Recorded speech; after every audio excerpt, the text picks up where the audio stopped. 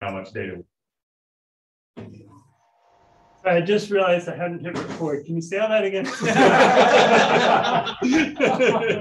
I'm a guy that used to be hanging around here when I was a kid, and uh, I went off and I'm working at NASA Goddard Space Flight Center, and uh, I'm helping build spacecraft. Um, I think I think eight ten years ago, I came by and gave a brief talk about Solar Dynamics Observatory, which is still up in orbit.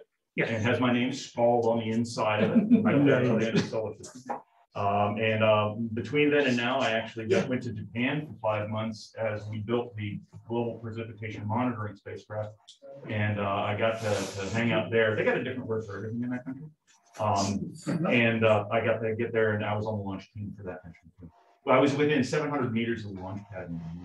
Oh, Rules wow. are different in that country. Oh, yeah. Can't Very wait. good. Thank you very much. Six miles from the United States. Hopefully that All because of this place. Yeah. But what, um, what is your You guys can get there too if you want.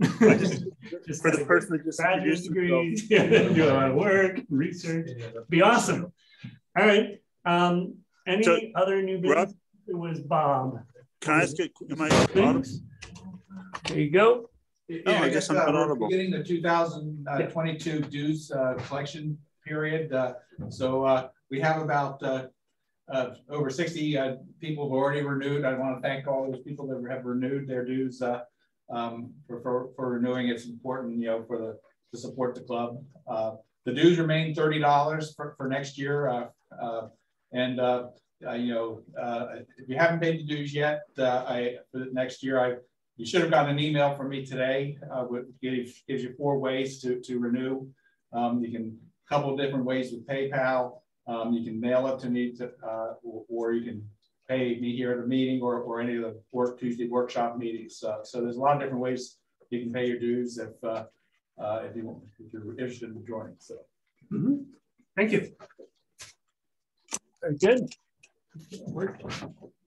All right, um, Bill, do you want to speak really quickly about the AP SIG meeting? Sure. So uh, this coming Saturday is the next, You know how is sound. the Wen- uh, November Oh, we had APC. sound. He's not muted, but Can you fix Uh, it? Are are check you that not green getting cable, sound? Rob. Make sure it's seated. This one. Hello? Test, audio test. Okay. Okay, starting up. Good. Okay, so this coming Saturday is the November AP SIG meeting.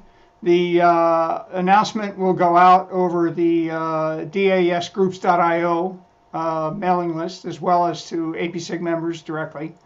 Um, don't have a special topic yet, but uh, it'll be Saturday, probably 7:30 p.m. That's it. Very good. And uh, just real quick, the book club said they're not having a meeting this month because Paul Halpern is going to be speaking to us this evening, and they're considering that the book club meeting. Oh, and uh, Bill McKibben has a little thing he'd like to bring up. Hi, just one brief thing I wanted to bring up. Uh, most of you are probably aware of this, but for those who aren't, a great resource online is skymaps.com. They publish a monthly, uh, a monthly chart that you can conveniently, you know, look north, south, east, west. Uh, it's usually has, uh, you know, two dozen objects that are prominent for the month. Uh, it's free, cheap and easy, and uh, especially for people that are borrowing some of the loaner jobs that are, you know, just getting started. It's a great resource. I'm going to leave a handful of these up here if anybody wants to grab one, and uh, I'll try to put something in focus, website or both, and uh, make sure everybody knows about it if you haven't already heard. Very nice. All right. And just another quick announcement, real quick. We have been making a lot of progress in the last month on the different projects that we said we'd undertake the last month. We made a bunch of progress on Alex 200s. We're hoping that they will be up and running within less than a month. Uh, also, we've made some progress on the Solon. We're hopefully going to have that ready soon. We've got a procedure in place and a document created for people to get approved to get gate access and access to the Solon once we do a little training session. Uh, so we're going to get that all set up, but we got to finish getting the scopes ready first. So, you know, one step at a time, but hopefully within about a month, we're getting close here. Um, any other new business that we wanted to announce? All right, Jeff, we can get started. Cool.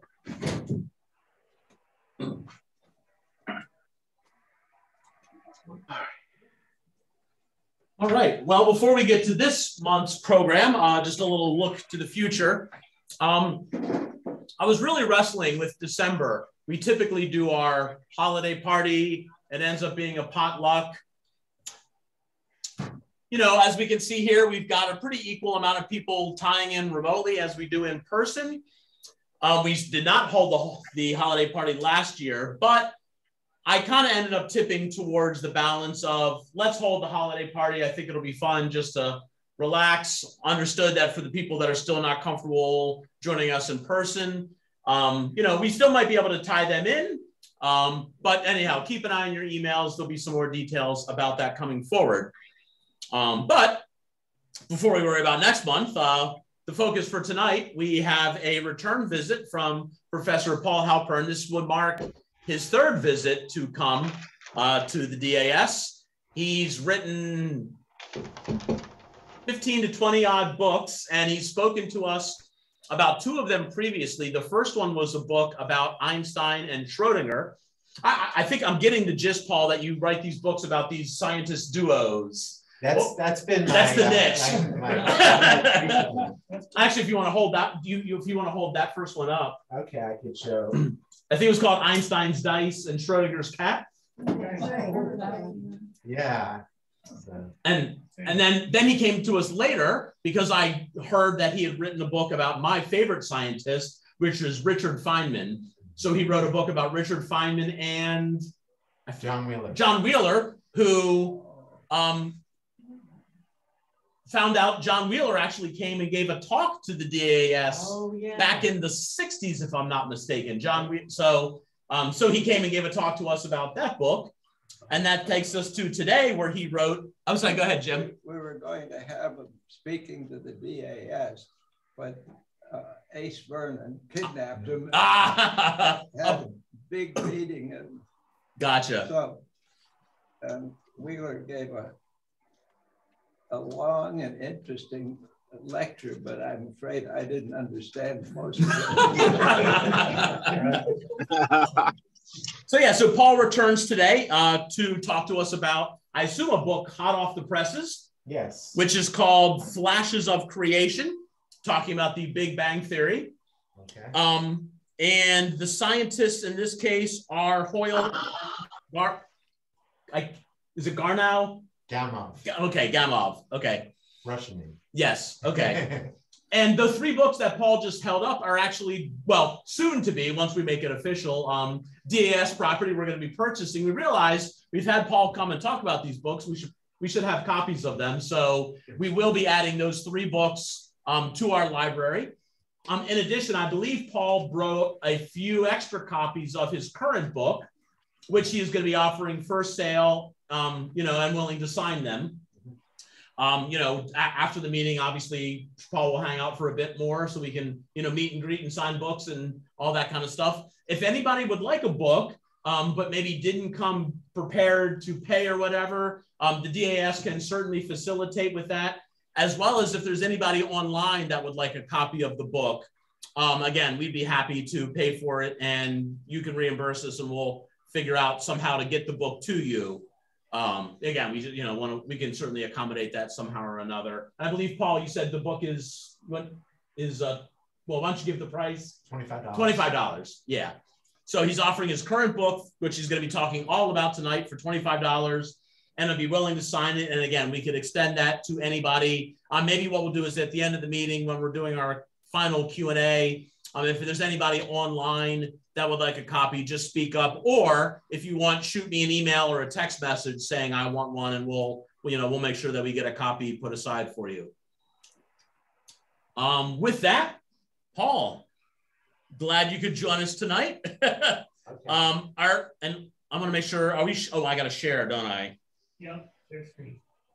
Uh, And how, and I'll be advancing the slides or? yeah. I- Is does that work for you? Yeah, so where should I stand? You got. Why don't you can go right here, and you can either sit or stand, and we'll get the camera Okay. I'm pointed just- accordingly. just real quick. Nah, you'll be fine. Can you click the middle one there? Not that one. You want to click the middle one so we can see. Participants Yeah. now can see you. Got it. Oh, and I'm gosh, I'm so out of practice here. Usual routine. Sorry, before we jump into this too far, I am going to mute everybody. You have to stop the share. Um, Yeah. Okay. Unlike in the past where I've been monitoring the chat window for questions, um, I'm not going to be able to do that. So, Paul, question to you: Would you rather have people hold off questions, or would you rather people just kind of shout them out as they think of them? Which what's your comfort level? In terms of here or in terms of the Zoom? Either, yeah. Uh, maybe hold off into the end. Okay, got it. So if people have questions, maybe jot it down, and once we get to the end, um, Paul will open up for Q and A, uh, okay? just to just to keep with the flow of the discussion. So I will be muting everybody. Obviously, if there's some disaster or if you need to highlight something, please take yourself off mute and let us know what's going on. But otherwise, we would like Click to. participants. It's over here, isn't it? Just click participants. And then there's a mute all at the bottom. All right, so you are all going on mute. Again, if you need to unmute for some reason, please feel free. But otherwise, at the end of Paul's talk, he will open up for questions. And we do need to unmute ourselves, right? No, you, you're unmuted. Okay. Don't. Oop, no, not that. Don't hit the button. Share screen button. Share screen button. There you go.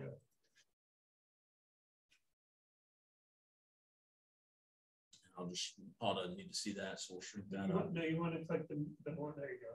I mean, but no one's going to be asking You do need to questions. see him in the Zoom. though. Oh, got it, for him to see himself. Yeah. Okay, uh, can some, are, are you guys seeing the PowerPoint okay at this point? Is this the first slide, Paul? No, it's Oh. uh, second slide. And they're muted, so they can't answer you. Yeah, if someone can unmute, let me know if you're seeing the PowerPoint. Yes, yes, Uh, I can. I have to show this first slide where I show where I'm from and where I am now. Yeah, there we go. All right, sorry, boy, that was, uh, you think, you think I've been doing this for almost two years now, so, Paul, it's all yours. man. Thank you. Thank you.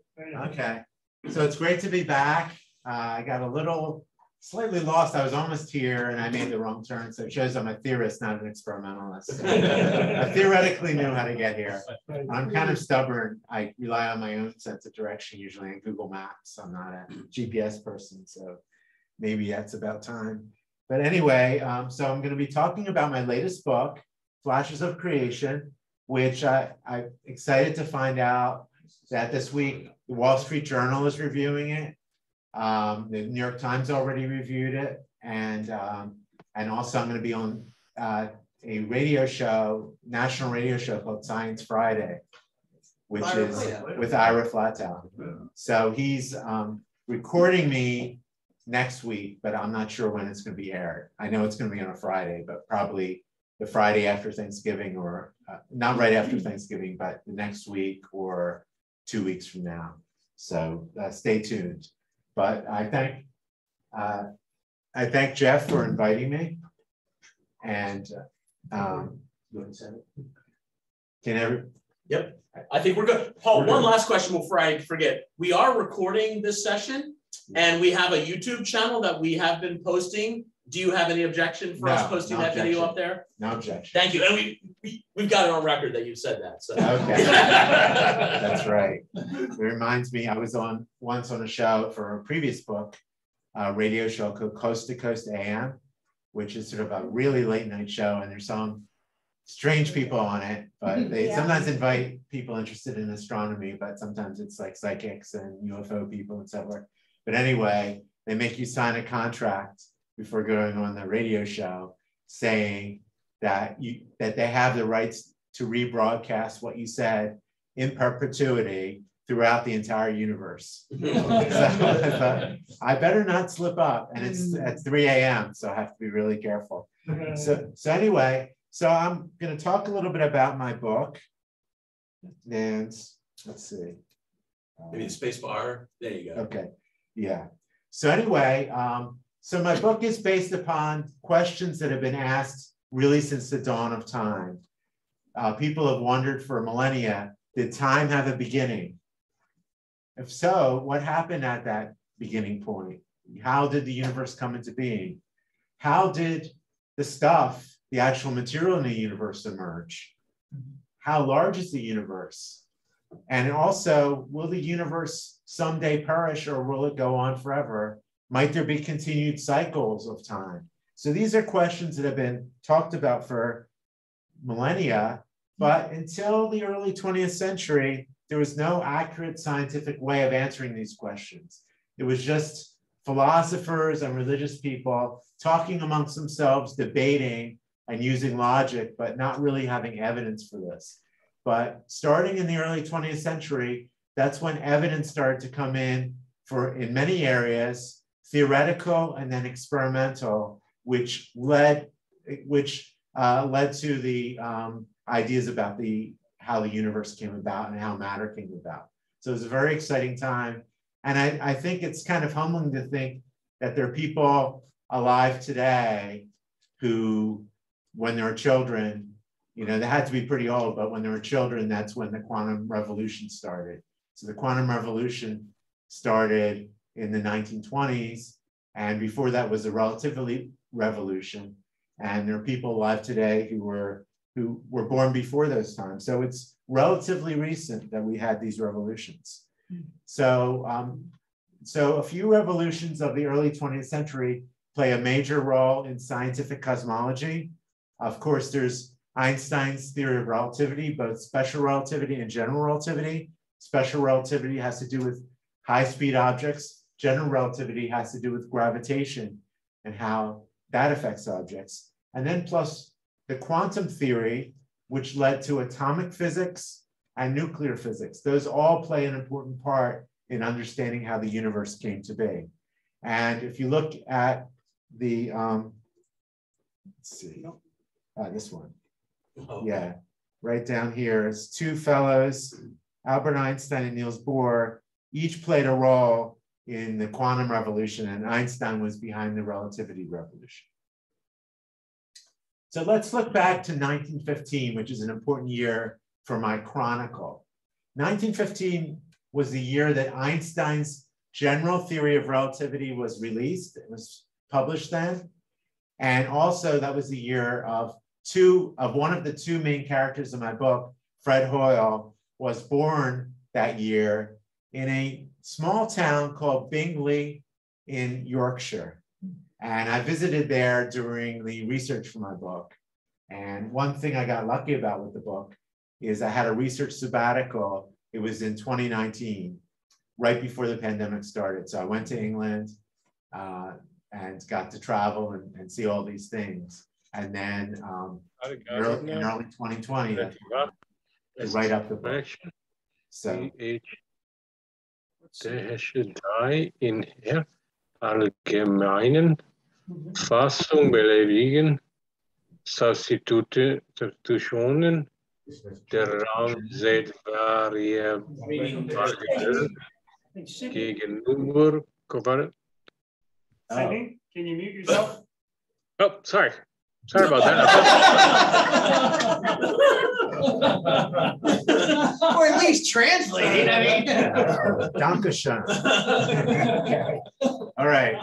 So uh, okay. Yeah. Well, anyway, um, so that's that's how it sounds. that's theory of relativity. Um, and uh, I just put that up. just as the field equations of, of gravitation by Albert Einstein. And then that's a plaque where Fred Hoyle was born. And I'll say a little bit about his birthplace. He grew up in kind of a working class environment, a milling town. His uh, father was involved in milling. His, his mother worked at a movie theater as the pianist. She accom- accompanied the, these silent movies with her piano playing. And the story is that at one point they noticed that she was playing classical music instead of the sort of kitschy music that went along with like westerns and so forth. And they fired her, and then people stopped coming to the movies because they were just there to hear her classical performances. so that was Fred Hoyle's mother. And so Fred Hoyle grew up going to movies a lot, and he was very a very cinematic person. Um, we'll see that the main characters, our protagonists, were larger than life figures and almost like, you know, heroes from the movies, which was pretty cool. So I'm going to um, summarize what general relativity is because it plays such an important part of in, in uh, cosmology. And I'm going to use the words of John Wheeler, who uh, almost uh, came to a club meeting. Mm-hmm. Space tells matter how to move, matter tells space how to curve. Mm-hmm. So in other words, if you look at the sun, the sun is weighing down on the fabric of space-time, creating a dent, gravitational dent. The planets all want to move in a straight line, but because of this dent, they move in elliptical orbits. So that was Einstein's way of trying to describe gravitation using the warping of space-time. And you can do this locally. You can look at the solar system, or you can actually apply this theory to the entire universe, which Einstein would do. Yes. So Einstein, uh, right after he came up with this theory, he said, let's apply to the universe. And we know the answer. So let's see if we get the right answer. The answer, he said, according to Newton, according to antiquity, is that the stars move, the nebulae, which at that time they weren't sure what they were, gas clouds or galaxies, move, but the actual fabric of space is static. That's just the backdrop. So therefore, he said, my theory should predict a static universe, one that's unchanging mm-hmm. over time.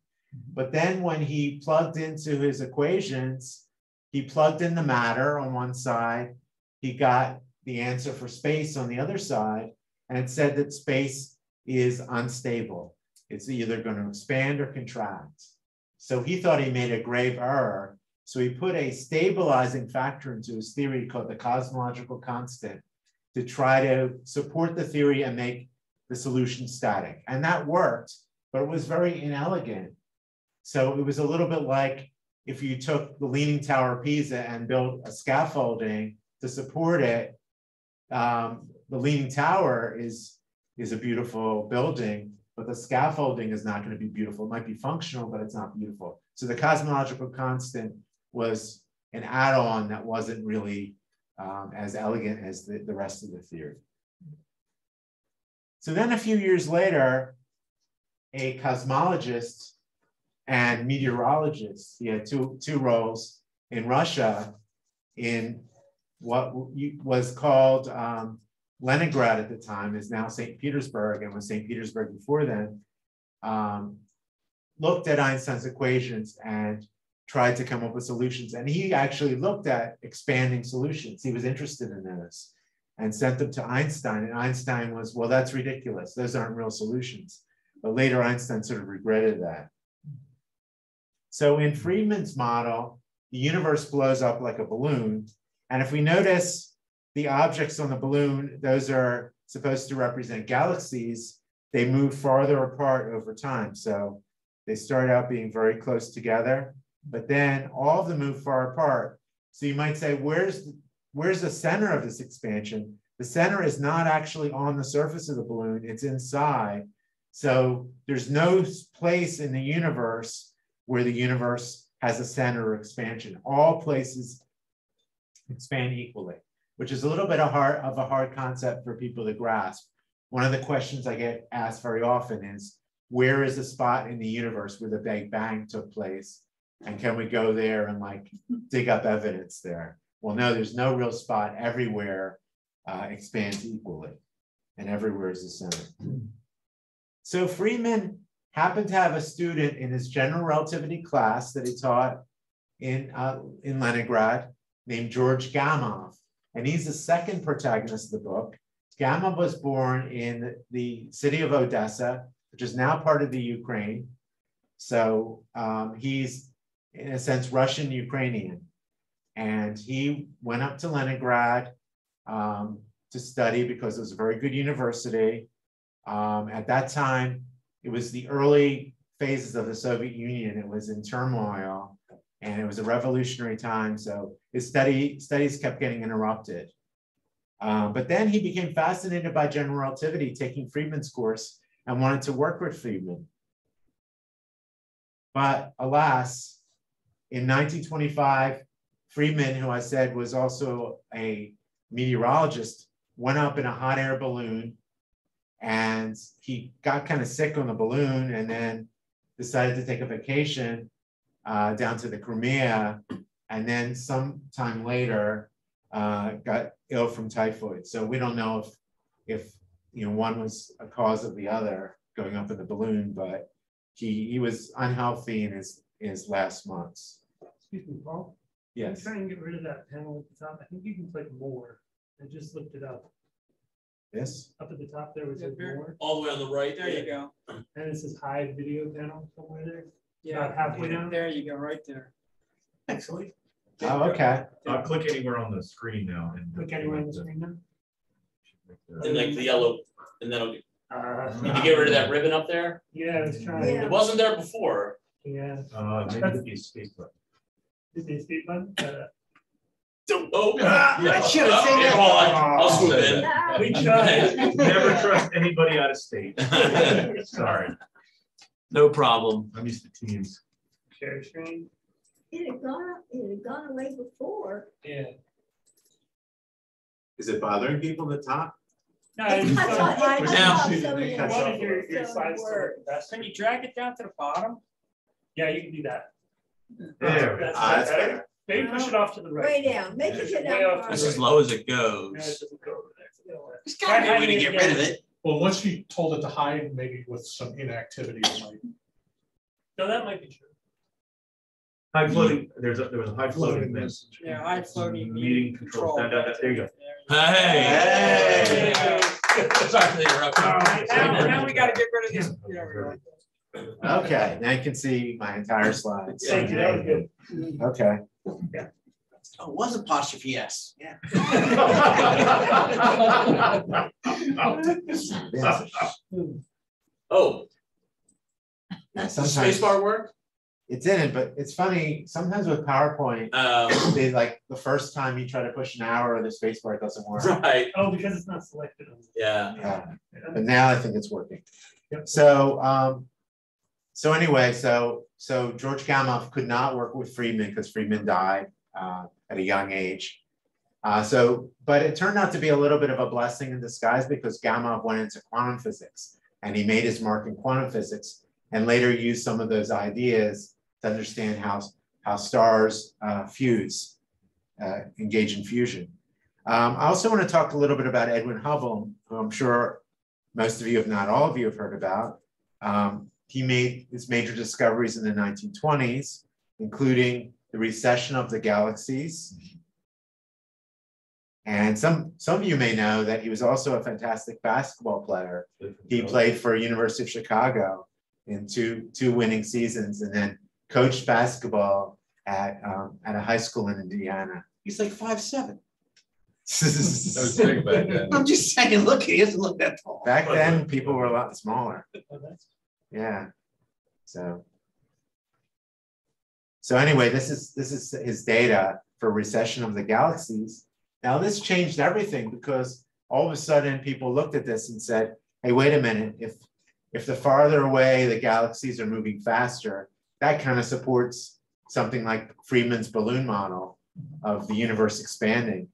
But strangely enough, Hubble, uh, little known fact, Hubble never agreed with the idea that the universe is expanding. He always said, well, I just produced the data. I'm not going to take an opinion on that. So, so he was never, never advocating for that. Now, there was someone else at the time who was advocating for the idea that the universe started very small. And he was vindicated when Hubble's discoveries came out. Uh, George Lemaitre, who was a Belgian cosmologist and priest. And here he is with Einstein. And the two of them didn't always see eye to eye. When Lemaitre in 1927 sent Einstein a paper saying that the universe is expanding and started mm-hmm. as a kind of small object, which he called a primeval atom, and then started expanding from that. Einstein was also dubious because he didn't quite believe in expanding universe yet. But then after Hubble's results came out, Einstein became a true believer in the expanding universe, even more so than Hubble. And then he turned to Lemaitre, and Lemaitre uh, revised his theory to take into account Hubble's data. And together they worked on expanding models of the universe. And this is Lemaitre's book, The Primeval Atom, the ideas about the origin of the universe. But Lemaitre was, as a priest, he was on the quiet side. So he didn't really trumpet his ideas. He didn't really know how to work the media, in other words. Now, George Gamow, as we'll see, and Fred Hoyle both knew how to work the media. So that's why they became uh, little little later the most uh, what the best known cosmologists. So here's Gamow um, with uh, John Cockcroft, a um, particle physicist. And Gamow, as I said, started out in quantum physics. He learned the laws of quantum physics as applied to atoms. And then um, he found out about a big dilemma having to do with nuclear physics. So if you have a radioactive atom like uranium, it sometimes expels particles. And then you could take particles and bombard other atoms with those particles and create new isotopes. So that's nuclear physics. So you can create new isotopes by letting you know the radioactive atoms decay, or you can bombard a radio uh, an atom with um, you know something like a proton or something called an alpha particle, which is two protons and two neutrons, and create something new. Well, obviously, there's something that sticks a nucleus together, which is a strong force. But then particles, if they're both positive, tend to repel from each other because like particles repel. So the question is, how do particles cross the barrier so they get close enough so that they can stick together? Well, Gamow knew about something called quantum tunneling, where particles in atomic physics can get through an energy barrier through mere chance. So if, if you attended my talk some years ago about Einstein's dice, this was like the dice rolling of quantum physics, where things probabilistically can lead to a jump, a quantum leap from one place to another that wouldn't happen under the normal classical laws of physics, but happen in quantum physics due to chance, the laws of chance. So Gamow said, well, um, that you can, when you bombard uh, nuclei with other nuclei, that they have a finite chance of crossing a barrier, and the same thing with radioactive decay. They have a chance of crossing a barrier. He did a calculation. It took him one night, he did it overnight and came up with a formula, which is still used today to calculate decay rates and collision rates for nuclear particles. And that he made his mark that way. He became known as kind of a genius uh, for that discovery. And that led to an understanding of how fusion takes place in stars, because fusion takes place under very high temperatures where protons can collide with each other, overcome this barrier through quantum tunneling. Sometimes uh, protons decay and become neutrons and then form something else, which in the case of a proton and a neutron would be a deuteron or the nucleus of deuterium, which is a heavy form of hydrogen. And then through that process, through more um, bombardment with protons, eventually the stars build up helium and they release energy in the process. And that's how stars shine, the stars that are hydrogen burning. So this was a really exciting discovery. Arthur Eddington uh, had postulated that four protons come together, but that model never really worked. But um, but Hans Bethe and others took Gamow's idea and built up the idea of the proton-proton cycle, which is a way hydrogen can go through a chain reaction of processes and become helium. So Gamow's theory also was used to create the first particle colliders to be able to bombard particles with nuclei. Now Gamow at a certain point decided to escape the Soviet Union because it was getting too ideological. So um, scientists were starting to be told you need to incorporate Marxist Leninist ideas in your in your work. So um, and Gamow really really didn't say a way, way to do that. So he decided to escape.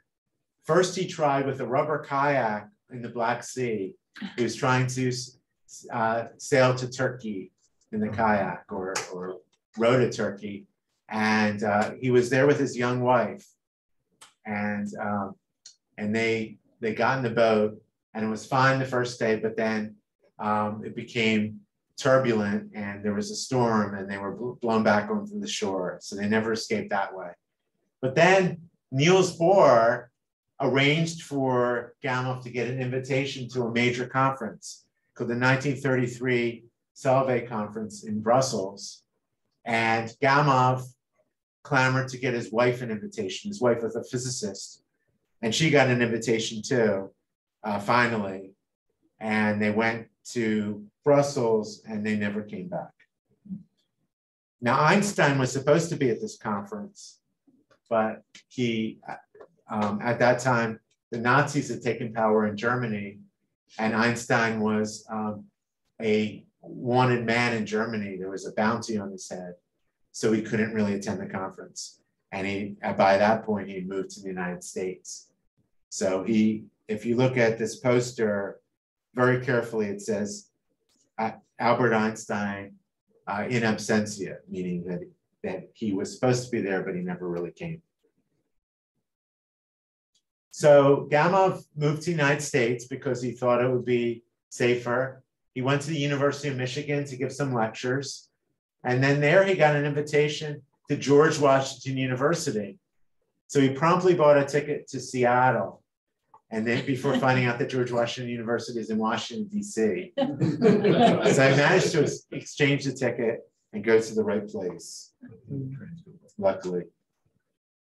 Meanwhile, uh, Fred Hoyle, um, we last saw him when he when he was born, but um, he became also interested in nuclear physics. So that was his passion. He studied at Cambridge with some of some of the greats.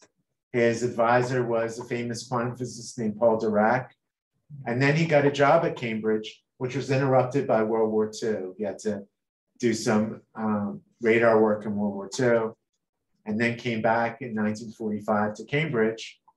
And he started becoming interested in applying nuclear physics to stellar processes. That became a really big deal because once you understand how hydrogen builds up into helium in the stars, then there was this open question how does everything else happen?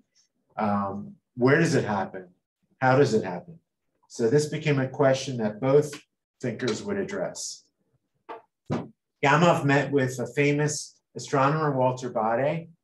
Baade had a, a theory about stellar populations, that there are population one stars, which are the current generation of stars, but then they were preceded by population two stars, which were massive stars that were mostly hydrogen, and they ran through their life, lifespan and uh, exploded in supernova and created the elements that were that seeded this generation of stars. So, um, so that was uh, that, that was the essence of, of Baade's theory, and uh, Hoyle thought that was fascinating and decided to run with that and come up with a theory of how all the elements were created in stars and in supernova.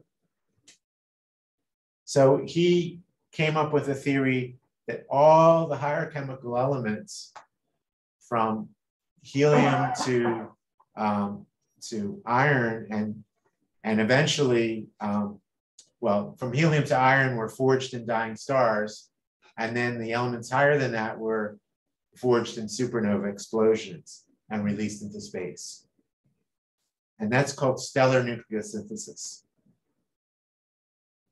now around this time Hoyle and two of his friends and colleagues, uh, Thomas Gold and Hermann Bondi, so here's Tommy Gold and Hermann Bondi, went to see a movie called The Dead of Night. And this is a horror movie.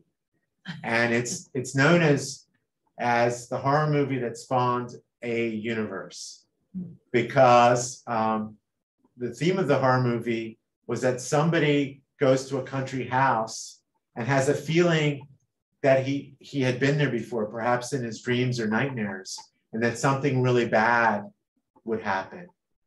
And then as the film progresses, people start telling stories about all these nightmarish situations and kind of spook each other.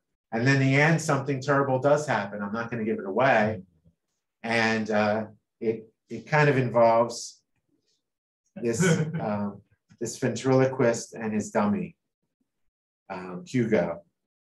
So uh, Charlie McCarthy. yeah, a little bit like Charlie McCarthy, but evil. And uh, and it, it was one of the first movies where the theme was the, the ventriloquist dummy comes to life and becomes evil. Um, there's been many other films like that. So anyway, so then horrible things happen, and then the main character suddenly wakes up. It was all a nightmare, and he's he's relieved. And then he gets a phone call, and he gets an invitation to a party at that country house, and the whole thing starts all over.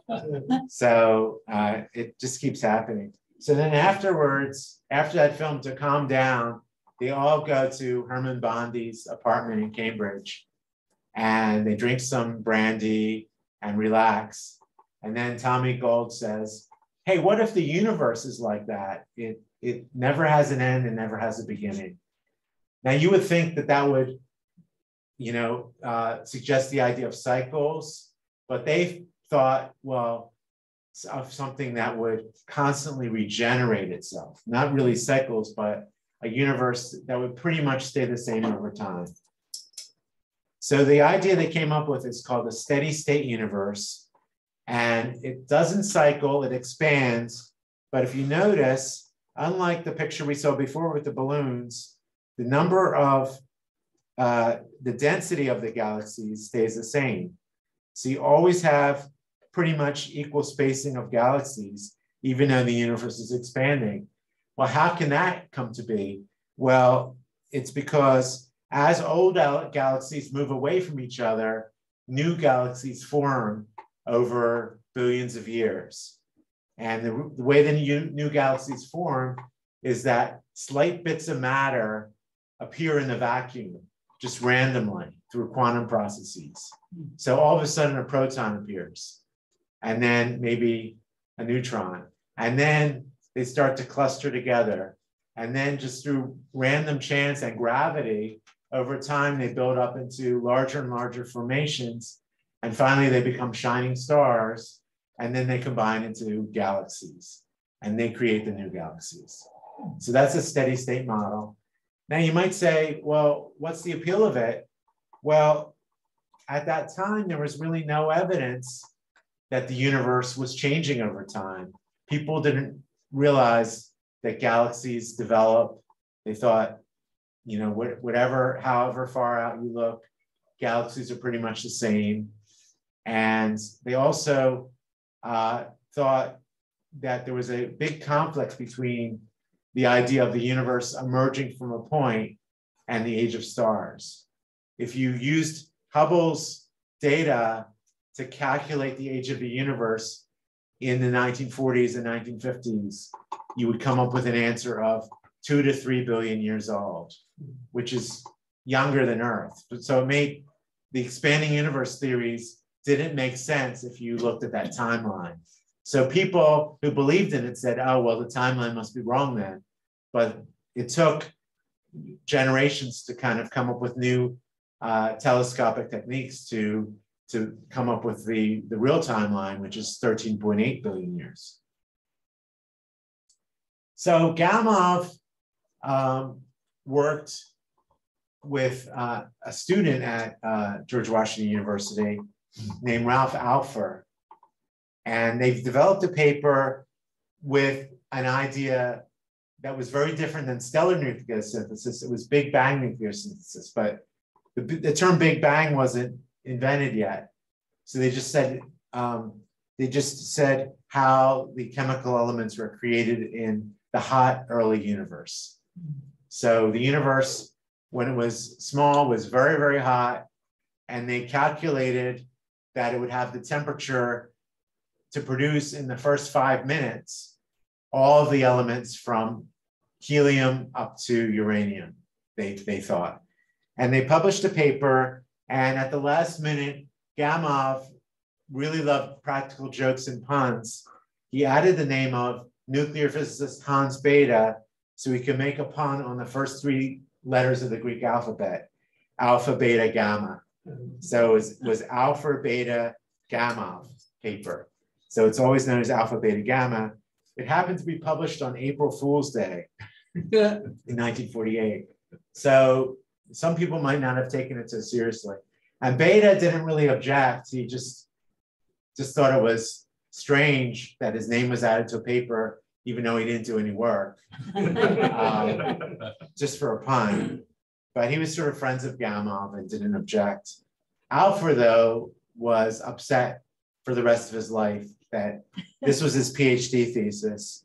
And uh, graduate students have it bad enough that sometimes their advisor gets more credit, but then to have a third scientist get credit for not doing anything, like equal credit to him, and he did all the work. So uh, he had some grapes. Um, although by reports, Ralph Alpher was pretty calm and wasn't really that um, adamant in his gripes. But then um, his son uh, apparently is still upset about a lot of things, and and actually, um, well, he uh, his son uh, Victor Alpher is is feels like his father never gets enough credit for anything, and including he said I didn't give his father enough credit in, in my book. So, um, but but I, I think I did. I, I put a lot about Ralph Alpher, but anyway, I I um, you know I was trying to be fair and trying to trying to represent history accurately. But anyway, so that was the paper. And they called the, the original substance of the universe Lem, which is actually, uh, I don't know if any of you know medieval Latin. Any medieval Latin scholars? Okay. Uh, it's medieval Latin for the word for matter in medieval Latin. And Ralph Alpher happened to know that. So they, they said Lem was the stuff of the early universe. And then when they published their paper, they took a bottle of liqueur and put uh, wrote Lem on it, and they celebrated with that bottle. And that bottle is now in the Smithsonian Institution. And uh, gave a talk about the idea, and this was reported in the Washington Post.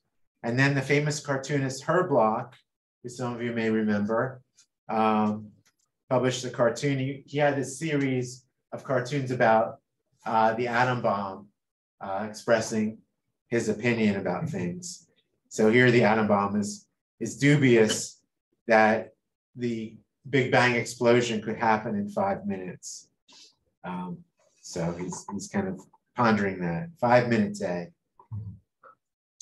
So there's a big problem with uh, Big Bang nucleosynthesis. The universe cools very quickly because it's expanding. And by several minutes after the Big Bang, it's too cool to produce carbon. Carbon, it turns out, requires an exceedingly high temperature to produce. It's a, it's a complicated process that involves two helium nuclei coming together. And before they, they're very highly unstable. They form a, a very unstable form of beryllium. And in the trillionth of a second before the beryllium decays, it has to be bombarded with another helium atom. And then they undergo a quantum process where they become a, a form of carbon 12. And that process was explained first by Gamow. So Gamow showed that that process can happen in stars where their cores start to contract. That you can reach, you need to get up to um, about 100 million degrees Kelvin temperature. And uh, that's possible in shrinking stellar cores. So Hoyle developed the idea that carbon was produced in shrinking stellar cores.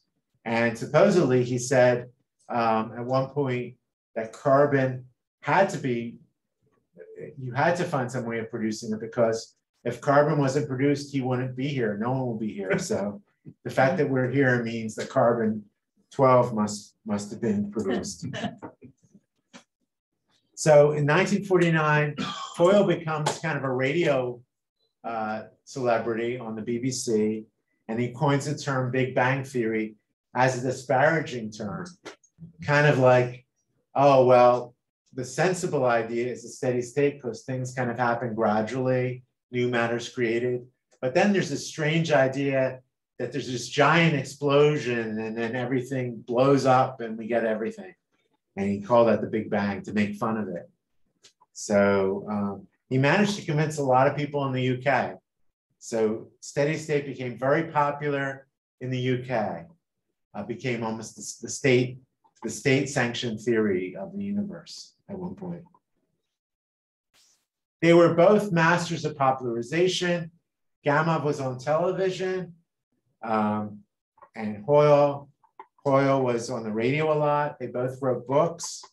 Um, in the 1950s, if you went to a, a uh, let's say a newsstand, you could pick up and you, you saved up your money because books were very expensive back then. You could get Gamow's The Creation of the Universe for 50 cents or Hoyle's The Nature of the Universe for 35 cents. So if you couldn't afford, I guess you were stuck with the steady state theory if you couldn't afford the extra dime and a nickel for a reading. Fifteen cent difference. Yeah, yeah, it was a big deal. and they wrote popular science and science fiction. They were really Renaissance people, which was one reason I was attracted to um, to writing the book. Is they weren't just scientists; they were experts in popularization. They uh, they wrote science fiction. Um, Gamow started the Mr. Tompkins series, which is about a bank clerk who finds himself in these strange quantum and relativistic worlds and learns a lot about physics. That series was continued by Gamow's son until last year. Gamow's son died recently, but last year, the last Mr. Tompkins book was produced by his son. Um, and then uh, Fred Hoyle wrote lots of science fiction, including the award-winning Black Cloud. Gamow was a funny cartoonist. He illustrated all his books. This is, this might be the first parody of Mickey Mouse. The Mickey Mouse cartoons came out in the late 1920s, and Gamow did a series of quantum, quantum physics as, um, as acted out by the Mickey Mouse characters. So uh, this is Mickey Mouse pretending to be Niels Bohr in 1931, which was very early. And this is um, has to do with the hydrogen bomb development. This is supposed to be Edward Teller and Stanislav Ulam. Hoyle wrote libretti for two operas, including the opera Copernicus, which you can hear online on YouTube, which is pretty amazing. Now, how many people involved in astronomy or astrophysics wrote operas? Pretty amazing. And as I mentioned, the steady state theory was very popular for a time because the Big Bang Theory shows that the universe is younger than its stars, which didn't make any sense. But nevertheless, um, the Pope uh, at the time, Pope Pius, endorsed the Big Bang Theory in the early 1950s, but the Astronomer Royal of the UK endorsed the steady state theory. So this is Lemaitre with Pope Pius. Lemaitre actually thought that science and religion should be kept separate, even though he's a priest. Uh, Pope Pius thought that the Big Bang Theory was kind of, in a way, sort of endorsement of biblical Genesis. How would the battle be resolved? The answer came thanks to a converted radio receiver for communication satellite. So this is a Bell Labs radio receiver. And when it was no longer used for um, satellite communications, um, astronomers got a crack at using it to try to look for gal galactic halos. So two astronomers, Arno Penzias and Bob Wilson, converted the Horn antenna to astronomical use. You can still visit the Horn antenna today. I, I went up there. You drive up to Holmdel, New Jersey, to the former site of Bell Labs. And uh, I, I went there and I, I thought it would be kind of hard to get into, but you just go into this parking lot and it's right there. And I was a little surprised as I approached it. I heard this loud, blaring rock music coming from that direction. And I thought, that must be the wrong instrument. Looks like it, but rock, blaring rock music was coming out of it. So then, uh, out of curiosity, I climbed up into the cabin and there was like someone um, was using it as an amplifier. They put like, you know, MP3 free player in there and was blasting it so that there was some company picnic there. So it's sacrilege. You know, how can they do that? But, um, I, I worry a little bit about that instrument because it's like very, uh, it's, it's too accessible for something so important in the history of science. So anyway, they were looking for signals from the Milky Way halo. They didn't find that. Instead, they found a persistent background hiss. And this is their strip chart. And uh, these are their instruments, which are the actual instruments are now in, in Munich, uh, which Penzias donated. And I, I, talked to both of them um, while writing the book, which is a real honor. And uh, Penzias unfortunately has some memory issues now, but for some reason, but he, he was very interesting to talk to, very enthusiastic, very friendly, and he had good recollection of his childhood. He escaped from Nazi Germany when he was a little, when he was a child, which is pretty remarkable. And they were trying to find the source of this background hiss that was persistent. No matter which way they turned the receiver, they had this hiss. And they thought it was noise from New York City. They ruled that out.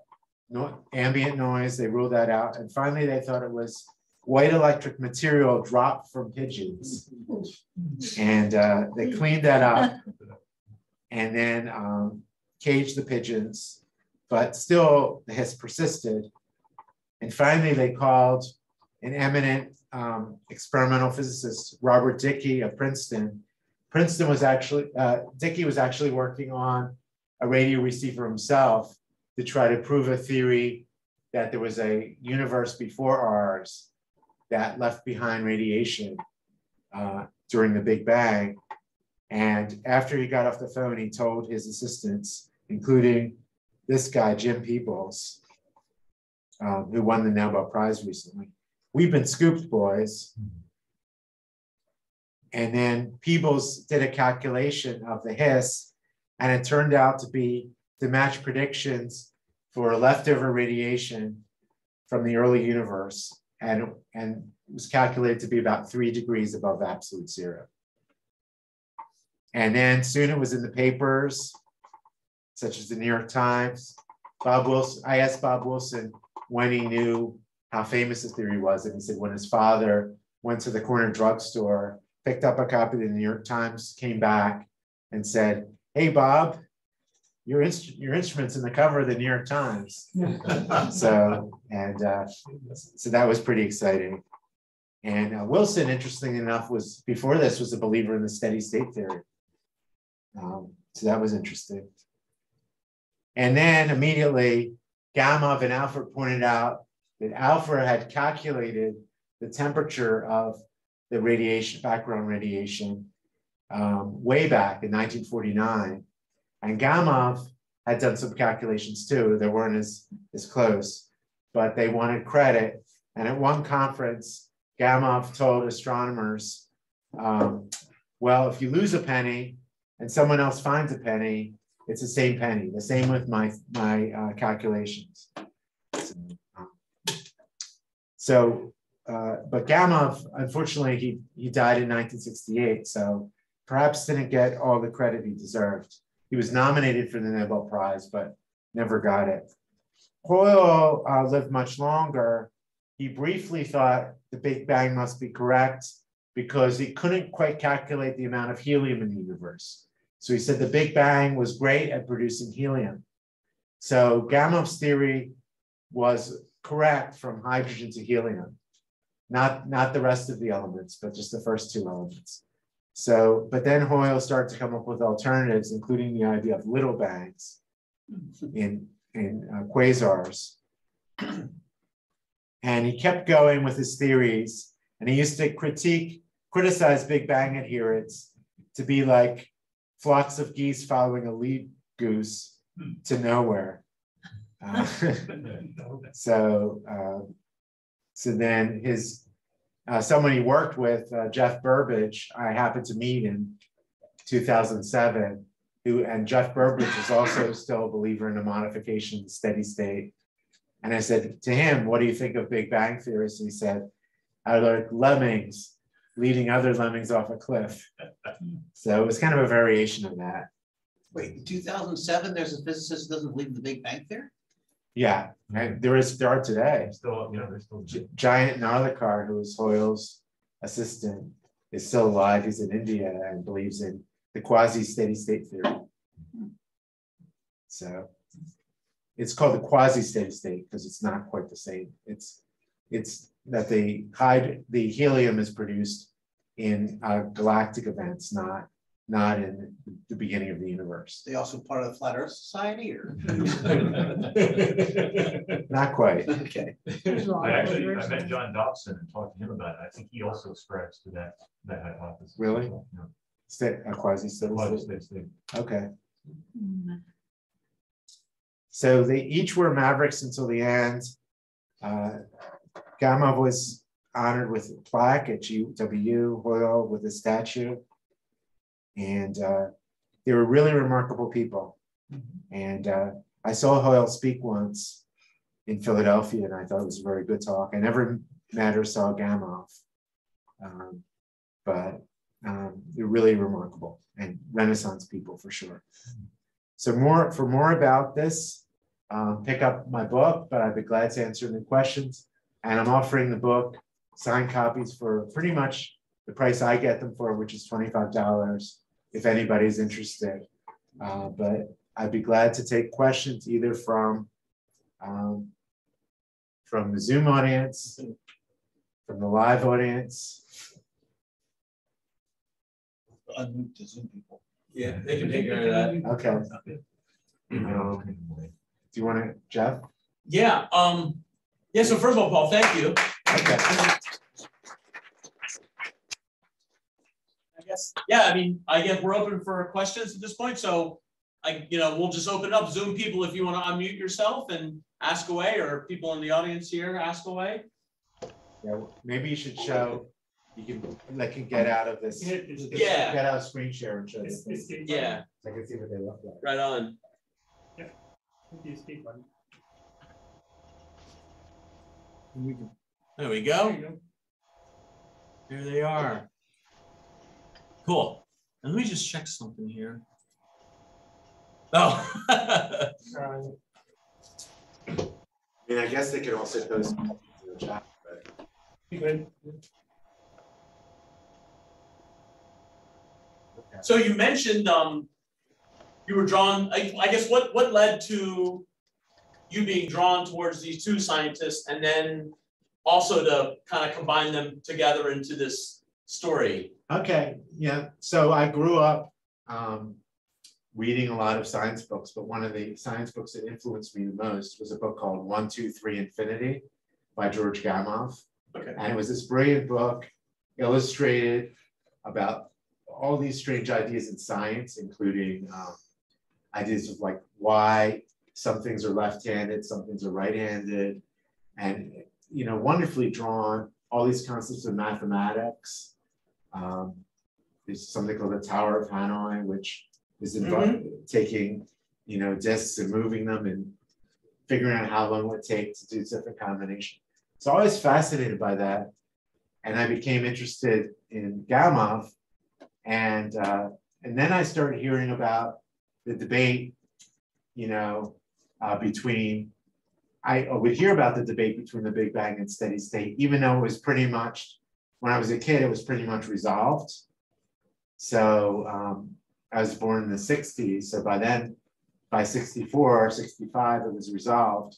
But still, when I was, you know, when I was a little older than that, I think some people had not quite felt it was settled yet. So people were saying, you know, for example, a friend, my best friend in uh, middle school had a, his father read a lot and was always saying like, you know, I wonder which is correct, the Big Bang or steady state. So a lot, a lot of people were still talking about it.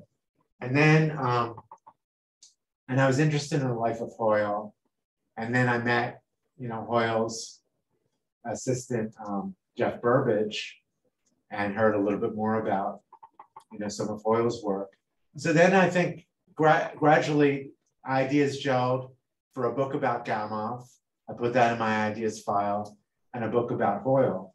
I put it in my ideas file.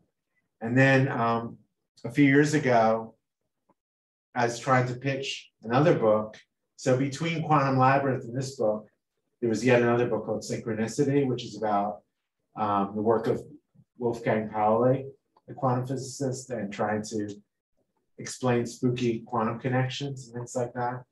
So anyway, I proposed the idea to Basic Books, and they didn't get back to me after about a week or so. And I was thinking, well, maybe I'll reframe the idea, but then I thought, well, maybe I'll come up with an alternative idea.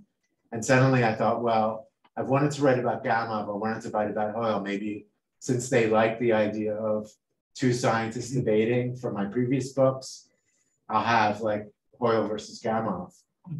And then they came back to me and they said, we like both of your ideas, the synchronicity and flashes of creation.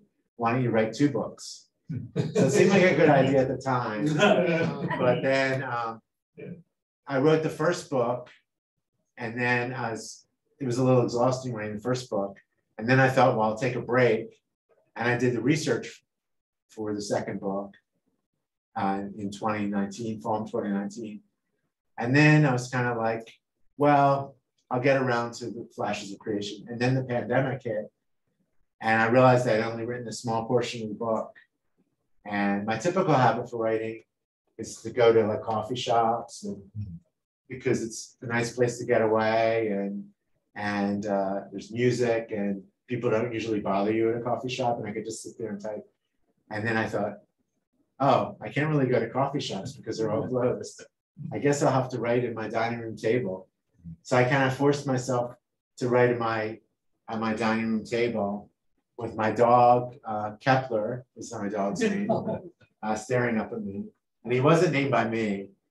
He was named by my wife, my dog Kepler, because my wife wanted to incentivize me or give me an incentive for wanting to have a dog. So she's like, name him after a scientist. so that's the story behind Kepler, the poodle.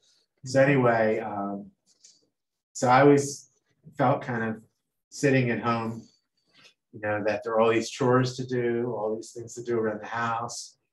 And then the dog is always looking like he's bored, like I need to play with him. But then I sort of somehow got over that. And in three months of concentrated effort, wrote, wrote the first draft of the book.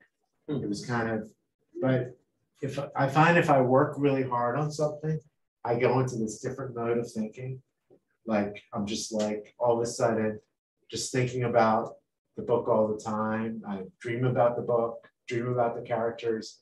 I wake up and all of a sudden like a few paragraphs of writing pop into my head. It's a very strange experience. But I wouldn't necessarily recommend it. but because like it's not really good for like relationships. like my wife will ask me something, you know, and I'll be like, oh, I gotta get this down and this paragraph down and, and like uh, you know, it's weird because like I'll, I'll just have like uh you know, whole idea or whole paragraph in my head and I just have to get it down. So So you ignore Kepler, huh? Yeah, yeah. So uh, yep. But uh, So to kind of to jump off of Todd's comment for a bit, I guess could you speak to? Um, I mean, I assume we would not put steady state theory today on parity with flat Earth theory. I guess is there any? I mean, you know, eh, science is always Well- about.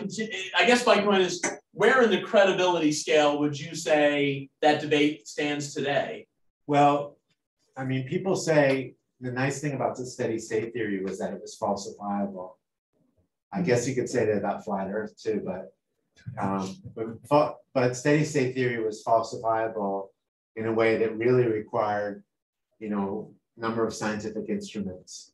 You know, you needed you needed to, like the background radiation um, was a major step forward. Uh, before that, they were looking at like gamma ray counts to try to uh, figure out if if this matter creation idea was possible. and, and things like that. So there's a lot of good science that have developed from trying to prove or disprove the steady state theory. Um, I guess, I guess I kind of feel like, like the flat earth theory is just so easily um, proved wrong, and it has been for like, Yeah. you know, uh, Since we had satellites. yeah, yeah, Way like before for, that. Way way before that. I Yeah. mean, you know, people navigating on the oceans and so forth. So, so I don't really have, I don't, I doubt that there are any flat earthers in this group. I don't want to diss flat earthers.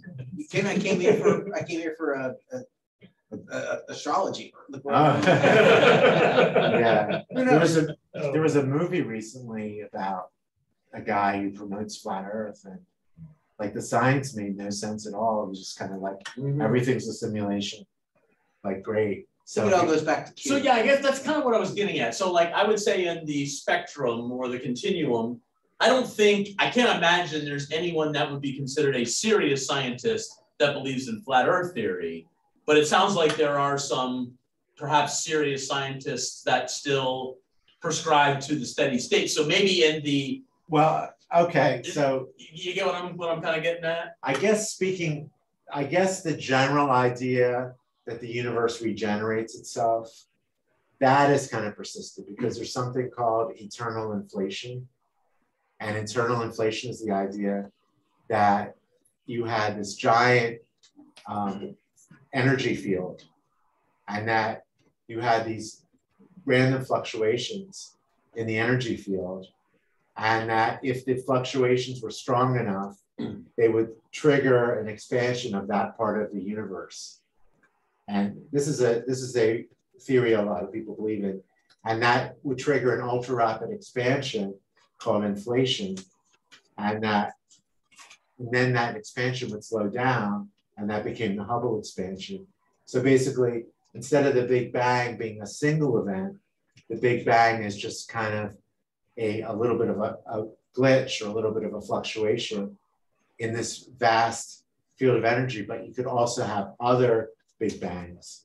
And sometimes that's called the bubble universe idea that you have all these bubble universes like like soap bubbles in a giant bath. Um, so, and that theory actually came out before Hoyle died. So I was sort of wondering how he would react to it. And he was kind of like, well, you know, you see, my my my steady state theory wasn't so wrong after all because this inflation idea is a little bit like steady state. But he sort of wanted he what he wanted people to do was to kind of adopt his idea rather than him switching over to this inflation idea. Hmm. But there are some connections between steady state and modern ideas that the Big Bang is not unique, that there, there are other universes out there. So, uh, but but no one really believes in the standard steady state anymore. They believe in this quasi steady state. A few people do, and the quasi steady state just basically requires that um, that helium production doesn't happen at the beginning of the universe. But they also have a weird the- theory about the cosmic microwave background that it's produced by um, iron filings in space. I find it a little bit strange that that absorb light and then happen to radiate it outward at at a temperature of three degrees Kelvin. So um, I, I find that part part of it really far fetched. And you gotta ask the fountains. well, they're like just bits of iron from uh, you know ex- exploding stars and so forth. But that part I think is really far fetched.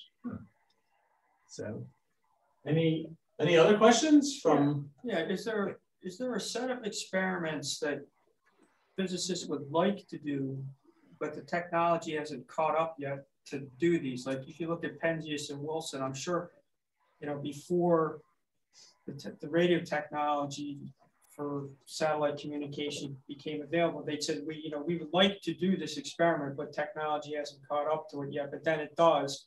They're able to do the experiments. There's something on the table right now or oh yeah, lots of stuff.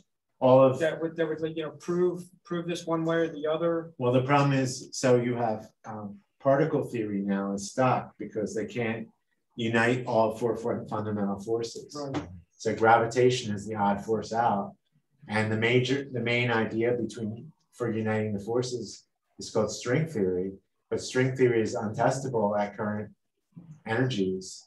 So if you if you could build a collider, the largest collider today is like like 27 miles, the one in Switzerland. Yeah. But if you if you could build, or it's 27 kilometers, uh, if you could build a collider that was, you know, the size of the Earth, or something like that, a ring the size of the Earth, perhaps you could test the energies needed to prove string theory. But you know, it would be so. I mean, it'd be ridiculously expensive to do something like that. Impossible to do it the size of the Earth, really. Could you put it around the moon? And would that still work? Well, it- they'd have to transport all the materials up to the Yeah, I know, but as far as in theory, with the lower gravity and everything. Yeah, yeah, you could, you could do it in theory if we had unlimited money. Maybe Elon Musk will fund it. No, I'm just saying, it'd probably cheaper to put it around the moon than to burrow through the earth. We want Yeah. people to ride on it. There you go. Yeah, collider ride, yeah. Um, but, uh, yeah, so there are theories in fundamental physics which are essentially untestable today because we don't have the money to build, you know, the, the equipment needed to test them. So that, that's, that is a good point. That's why particle physics has really been in a quagmire like for the last uh, few decades. So it hasn't really made progress since since I was in graduate school, and that's a long time ago. Well, I grew up in the outskirts of DC, and it was kind of interesting to see. I guess I'd not really heard of GW. I, I guess I would have never considered that like a powerhouse of physics research. Uh, it, is that kind of like a singularity, or well, that so what happened was when Gamow got the job there, um, he made some conditions for the job. One is he said, "You need to hire another faculty member to work with me," and that turned out to be Edward Teller, very famous physicist. And then he said, "I'd like to set up something like um, Niels Bohr's Institute with um, annual conferences." So he set up something called the Washington Conference, and those became very popular and attracted people from all over the world. So that gave uh, George Washington University clout in the 1930s and 1940s.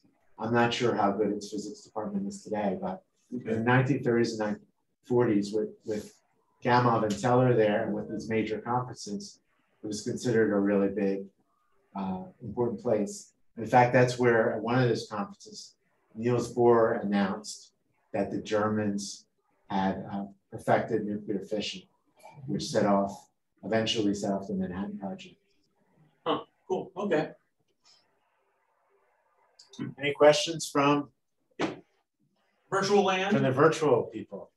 Yeah, about what age were these men when they got their breakthroughs? Well, question, they had uh, breakthroughs, a number of breakthroughs. Right. But Gamow was in his 20s when he had his first breakthrough, which was breakthroughs, which was nuclear physics. But then when he developed uh, Big Bang nucleosynthesis, he was he was around 40. Um, So, and then he went on to uh, do some work in genetics.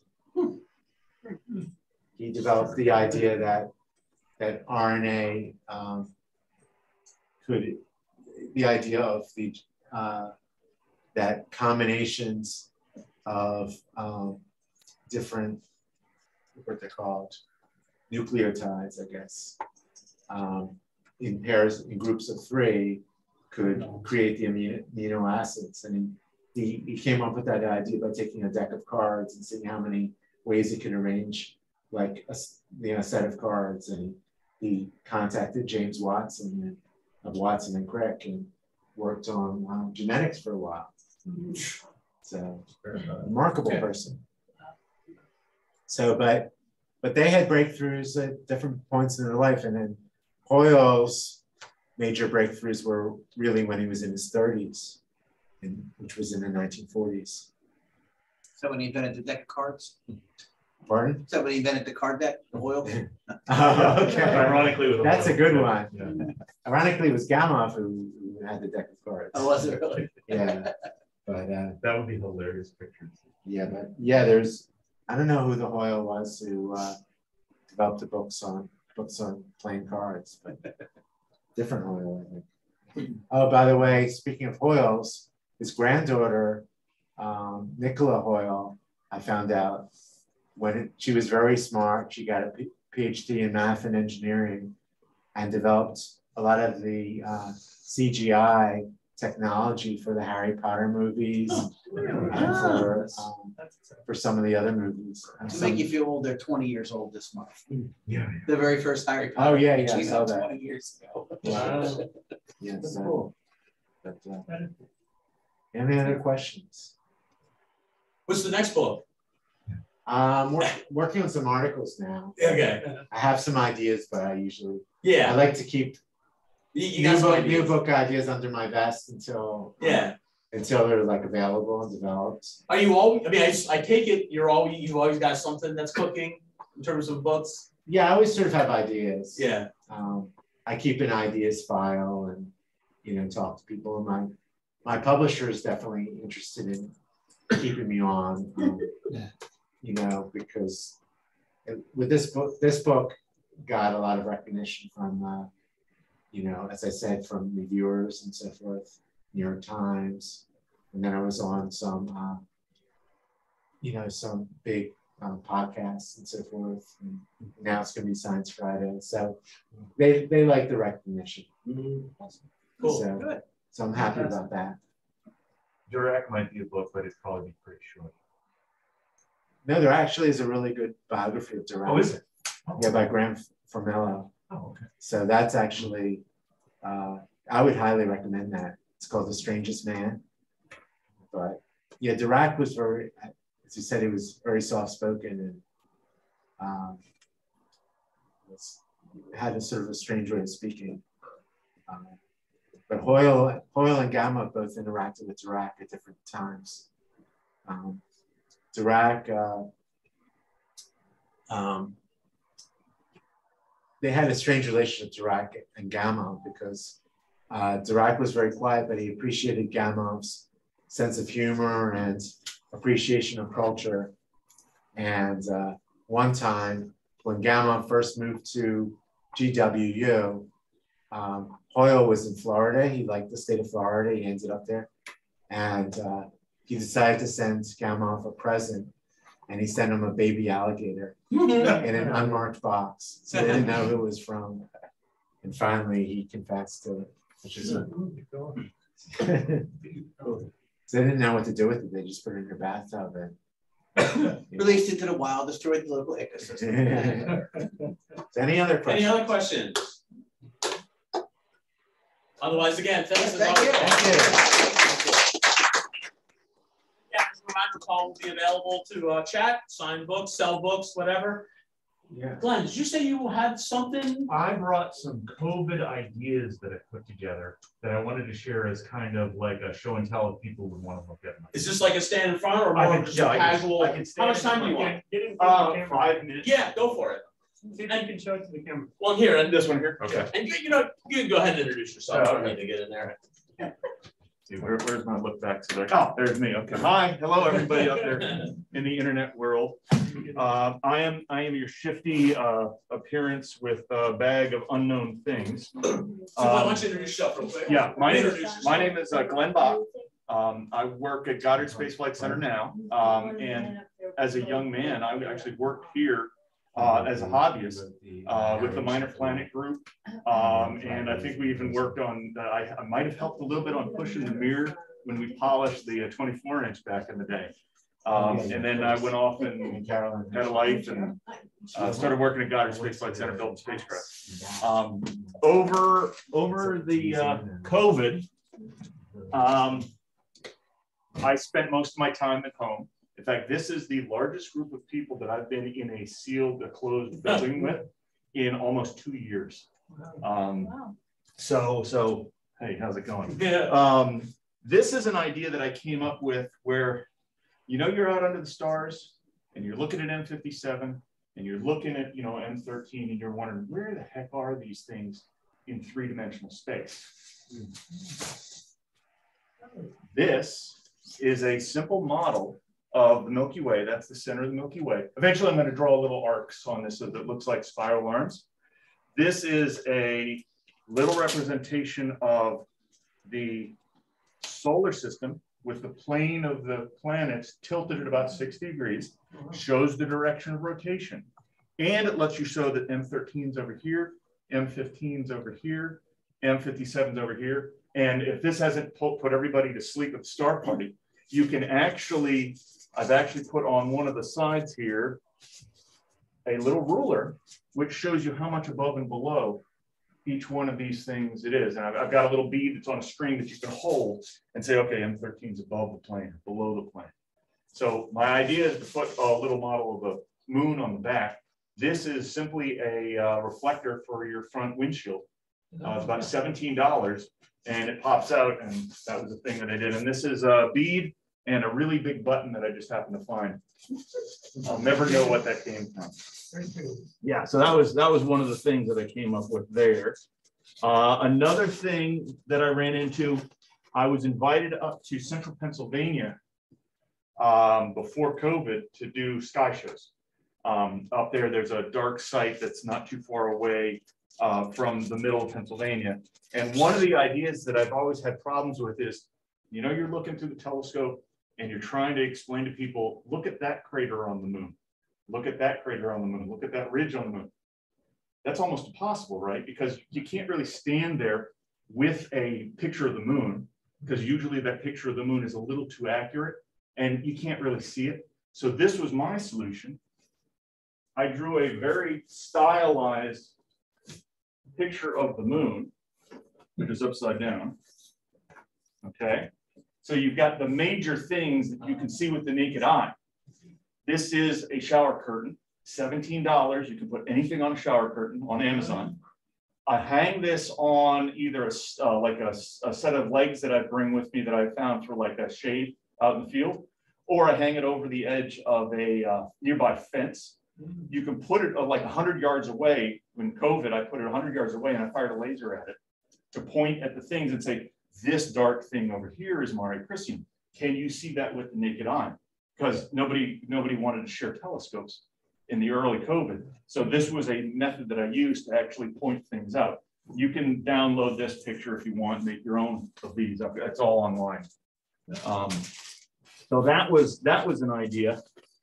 And this last little idea that I came up with was another COVID sky show thing. This is a slow motion control altitude azimuth device. You can buy this for, I believe it's about 25 bucks on Amazon. It takes a while to find this. And what you can do is you can just attach this to the top of a regular tripod. You have to use the, the tilt part of the tripod to move this thing enough to like make it make sense. And then the um, azimuth as well to just kind of get in the general direction. But then you can use the slow motions and dial a green laser exactly on a Messier object. And you just, you know, you, you, you dial it in and you just hold the button for a little bit and say, okay, everybody get your binoculars because you're 20 feet away from each other. Get your binoculars, get your telescopes out if you brought one. Turn on the laser. Everybody follows that green laser up until it vanishes. And then say, okay, hold that position. You turn the laser off and everybody's looking at the same object. So this is a, another little thing where usually you can get the lasers, the uh, really, really bright ones that you never want to fire at an aircraft, by the way. Um, yeah, you can, you can damage your eye. This one melts chocolate. Um, but you can, the brackets usually come with them and you can just attach that in there.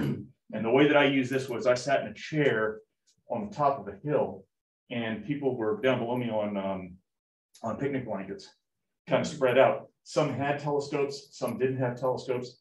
And I just use this as a, take a look at this star, take a look at this object, take a look at this thing. And to tie in with that, um, I created a, for every visible star in the sky and many of the objects that we see in the Messier object and the NGC objects, I created a series of PDF files where every year I update them so that when you go outside on a given night and you look at, say, the bright stars in the summer triangle, you can actually uh, I could tell you what was happening when the light left that star, you know, kind of close. So I can say, okay, when the light left that star, you know, the letter zero was outlawed in Europe. You know, when that light left that star over there, you know, George Gamow was doing X and Y. And for every one of the objects out there, you, I have a long list of things. So you can usually go down and pare it down to something that might be interested to, you know, some people in the, uh, the audience. Is there musical stuff? There's a bunch of musical stuff in there, but you can download all that stuff too. So there you go. That's, that's some, that's some stuff that kept me. And you don't mind this going up on our YouTube No, channel? not a bit. And- Awesome. And if you want, all, all of this stuff I've got on a website that I put together. Uh, the spelling is horrible and the grammar is even more atrocious, but I'll give you that if you want to post it too. Sounds cool. All this stuff you can download, the diagrams and everything like that. If you're- I guys, just give us one more second. Um, we got one last little bit and then, uh, there are refreshments. I will get this. One more thing. All right, one last item, guys. On a sadder note, sorry to inform everybody, but Tom Harding passed away just recently. We were very sad to hear about that. Uh, he was a very regular attendee at our Zoom sessions during the pandemic. He was an excellent member of our DS board, board member at large for the last few years. He contributed quite a lot to our project, work on these pods and Solon and getting it all up and running. Uh, he's been a great member of the club. He ran a couple of workshops that I participated in uh, with the lathe in the workshop. So he taught me all about how to use a lathe and now I have a lathe. So it was really beneficial for me. So I really appreciated what he did for me and for the club. Unfortunately, he passed away recently. Did anyone else want to say a few words about Tom? Tom, Give me turn it to you. Tom, Tom was a, he, he was voted amateur astronomer of the year a few years ago. I've known Tom for over twenty-five years. I worked with him at the DuPont Experimental Station. We were great friends. Tom was always willing to help anybody. He loved to build stuff, especially machine stuff. So if you had a project, he was willing to jump in. I know a couple of months ago, I, I got a telescope that I've been looking for for many, many years and a part on it was broken. And Tom met me up here on a Saturday. He was still pretty weak at the time, but he was able to help me machine some parts. That's who Tom was. Uh, you know, he, uh, we thought we were good. He thought, we really thought that he was going to beat his leukemia. He had a, uh, he had a transplant. Everything was looking good, but he kept getting his blood uh, infections. And unfortunately, I think that's what uh, was his demise. Uh, he left us way too uh, soon. He was only 69 years old and he'd only been retired for five years from the DuPont Experimental Station. So, yeah, I will miss my friend a lot. He was an amazing guy, just an amazing physicist. Like I said, I never saw Tom angry in the whole time I worked with him or knew him as a friend. Uh, Besides being in- into amateur astronomy, he was an avid fisherman. Uh, he also was a member, a board member of the Rough and Tumble Engineer Society up in uh, up in Pennsylvania. There, he uh, helped with those shows that they had a number of times a year. He built uh, model steam engines. Uh, he just became an amateur radio uh, ham operator. He got me into that too. So, uh, like I said, it's uh, real sad, and I will miss my friend. Anybody else? Thank you very much. Thank you for sharing, uh, Dave. So in just a couple more minutes, we'll be heading over into the other room to get some refreshments. Uh, Those of you who are at home can, of course, get your refreshments at home. Uh, Whatever's in your refrigerator, you know, You're enjoy it. You're welcome to have whatever you like there. Uh, We have a number of things that Dan has laid out for us, and anyone here can partake in that. And I hope everybody has a good month, and we'll see you next month. Thank you. Yeah.